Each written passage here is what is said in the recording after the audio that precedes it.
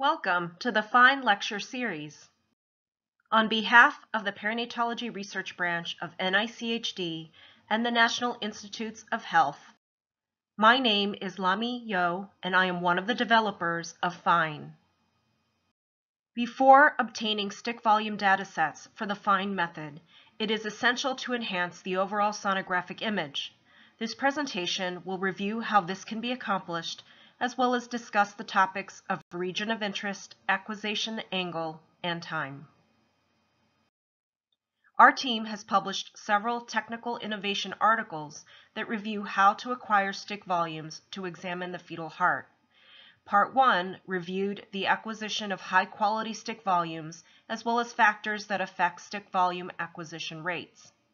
Part 2 provides a detailed and practical stepwise approach on how to perform 4D sonography with STIC, along with methods to determine whether such volumes are appropriate for analysis. STIC technology allows acquisition of a fetal cardiac volume dataset and visualization of cardiac structures as a cine loop of a complete single cardiac cycle in motion. Because this is a volume dataset, this provides the examiner with an unlimited number of images for review. Moreover, STIC volumes may be stored indefinitely and reviewed offline by the examiner or even by experts remotely through telemedicine. With the four-chamber view as the acquisition plane and applying appropriate settings, the volumetric ultrasound probe should automatically sweep from the fetal upper mediastinum down to the stomach.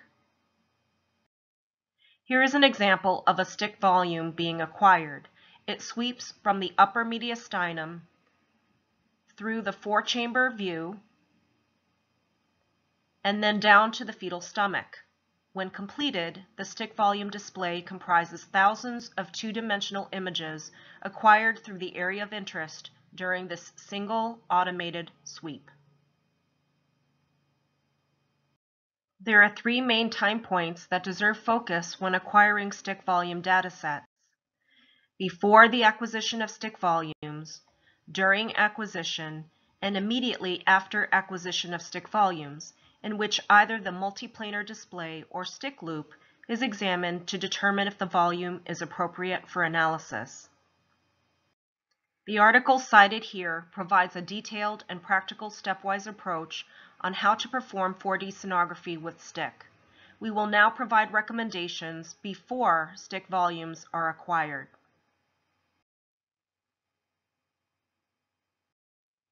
The first important step before acquiring STIC volumes for the FINE method is to optimize the quality of the two-dimensional sonographic image.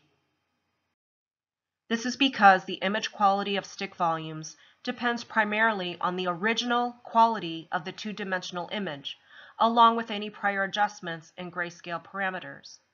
If the 2D image quality is suboptimal, for example acoustic shadowing or maternal habitus, this will also generally be the case for the STIC volume quality. Here is an example of very poor image quality in this patient. The fetal heart is not adequately visualized, and therefore if a STIC volume is acquired, the image quality will also be very poor and uninformative. The goals are to adjust the ultrasound settings so there is clear visualization of the fetal heart. The image should be neither too bright nor dark, and the image should be characterized by increased contrast and high resolution.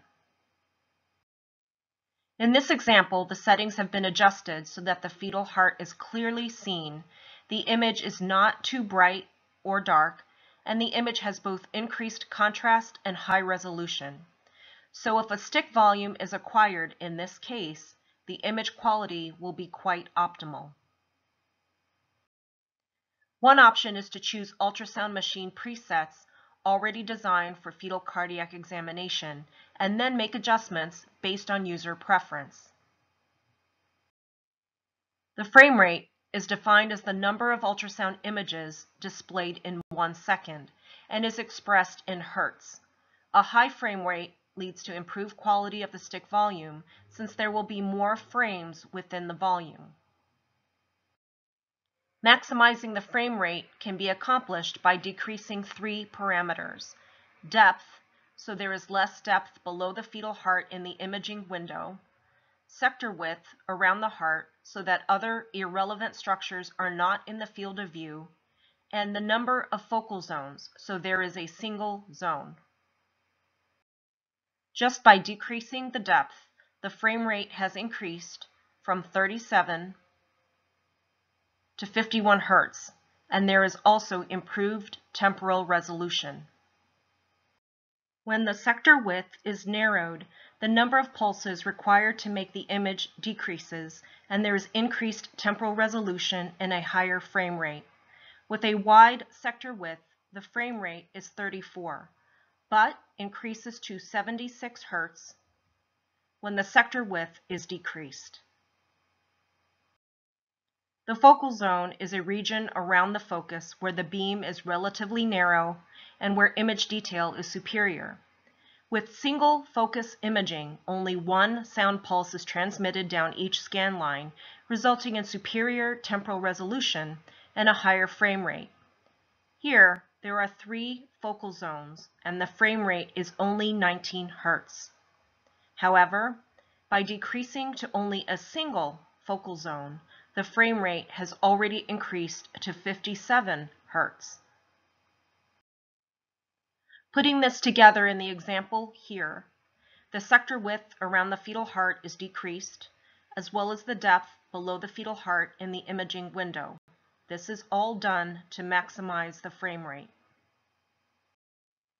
Besides decreasing to only a single focal zone, the location of the focal zone should also be adjusted. Reflections that arise from the focal zone create images that are more accurate than those from other depths. So to optimize the two-dimensional image quality of the fetal heart, the single focal zone should be placed at or below the level of the fetal heart in the imaging window. Magnification of the fetal heart.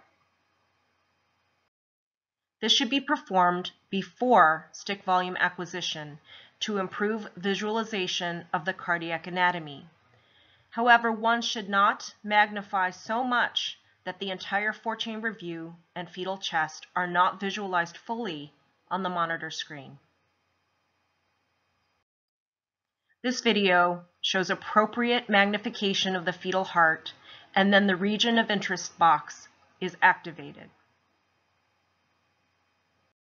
Now, the region of interest determines the height and width of a STIC volume and is shown as a trapezoid outline in green color.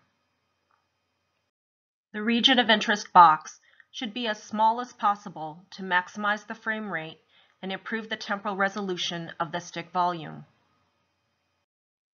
Contrary to what one may think, a large and or wide region of interest is actually associated with lower frame rates that negatively impact the temporal resolution and quality of STIC volumes.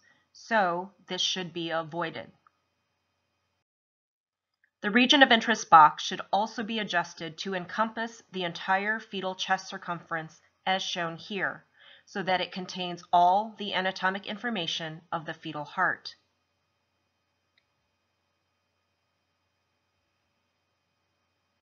In this example, the entire fetal chest circumference is not within the region of interest box. Finally, the fetal heart should occupy the maximum proportion of the image to be acquired. During the actual STIC volume acquisition, it is important to observe on the ultrasound monitor screen the sequential images within the region of interest box.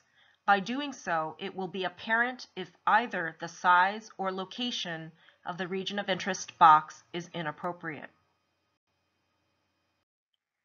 For this example of STIC volume acquisition, the sector width is wide, and so the frame rate is not being maximized. An additional issue is that magnification of the fetal heart is not being performed. All of this will affect the image quality of the STIC volume dataset. Now, prior to all STIC volume acquisitions, the acquisition angle and time must always be set on the ultrasound machine. First, let's review the acquisition angle. The angle determines the acquisition depth, and a smaller angle, such as 15 degrees, is equivalent to a shorter distance being covered during the STIC sweep. However, the goal in setting the acquisition angle is to always encompass all anatomical structures of interest. For the fine method, the upper fetal mediastinum through the upper abdomen should be included within the STIC volume acquisition. To review again, with the four-chamber view as the acquisition plane and applying appropriate settings, the volumetric ultrasound probe should automatically sweep from the fetal upper mediastinum down to the stomach. So, what is the appropriate acquisition angle? This depends on the gestational age, which affects the fetal size. The answer is that the angle should always be adjusted depending on a smaller or larger fetal size. One example of the range of acquisition angles on an ultrasound machine is 15 to 60 degrees. We have developed a general rule of thumb in which we take the gestational age and add at least 5 degrees to determine the acquisition angle. Therefore, if a fetus is 25 weeks of gestation, we set the acquisition angle to 30 degrees. What happens if the acquisition angle is too narrow? anatomical structures may not be included in the STIC volume. Yet the acquisition angle should also not be too wide. This leads to redundant information being included within the volume, such as the fetal pelvis, decreased volume resolution, and an increased chance of artifacts being introduced, such as fetal movements. The goal, therefore, is to set the minimum acquisition angle that includes only the areas of interest. By doing so, this will reduce artifacts and optimize STIC volume quality. This screen panel on an ultrasound machine shows where the acquisition angle is adjusted. Here it has been set for 30 degrees. Now, after the acquisition angle has been set, how does one know if this angle is appropriate? It is necessary to observe the images on the monitor screen during the actual STIC volume acquisition as shown here to determine whether the structures of interest have been included. For the fine method, both the transverse aortic arch and stomach should be visualized during the acquisition. If they are not seen, the acquisition angle should be increased. The fetal upper mediastinum is defined as the plane in which the transverse aortic arch, superior vena cava, and trachea are visualized as shown here. The image on the right shows the fetal stomach in the abdomen. Now let's review the acquisition time. This is defined as the duration of acquisition and usually ranges from 5 to 15 seconds. The acquisition time essentially determines the speed at which the ultrasound transducer sweeps the region of interest. The shorter the acquisition time, for example, 7.5 seconds, the faster is the acquisition speed of the transducer. This may seem advantageous. However, because the acquisition speed is faster, there will be a lower number of two-dimensional slices contained within the STIC volume resulting in lower resolution quality. So it seems that one should set a longer acquisition time, such as 15 seconds, which means a slower acquisition speed. This will lead to a higher number of two-dimensional slices contained within the STIC volume and a higher resolution quality. However, the disadvantage of slower acquisition speeds is that STIC volumes are more likely to be affected by motion artifacts because the acquisition takes longer. For example, in 15 seconds, the fetus can certainly move within this time frame. So the bottom line is that we wish to obtain STIC volumes that contain the greatest possible number of two-dimensional images from which the dataset will be constructed. This means that we should set the longest possible acquisition time. Since most women can hold their breath without difficulty for 10 to 12 and a half seconds, we recommend setting acquisition times for 10 to 12 and a half seconds. We then adjust according to the presence or absence of fetal breathing or movements. When fetuses are very active, one has no choice but to set the shortest possible acquisition time to minimize motion artifacts, for example, seven and a half seconds. But keep in mind that this will be at the expense of optimal spatial resolution. The good news is that electronic matrix 4D ultrasound probes have been developed that allow a 75% reduction in STIC volume acquisition times. Therefore, this may be useful when performing 4D sonography with STIC. This screen panel on an ultrasound machine shows where the volume acquisition time is adjusted. Here, it has been set for 12 seconds. In conclusion, before obtaining STIC volume datasets for the FINE method, it is essential to enhance the quality of the two-dimensional sonographic image. One should maximize the frame rate by decreasing the depth, sector width around the heart, and the number of focal zones to a single zone. The focal zone should be placed at or below the level of the fetal heart in the imaging window. Finally, the cardiac image should be magnified to improve visualization of the cardiac anatomy. The region of interest box should be as small as possible to maximize the frame rate and improve the temporal resolution of the STIC volume. One should set the appropriate acquisition angle, and we recommend setting the acquisition time between 10 and 12 and a half seconds with adjustments as needed. Thank you for your attention.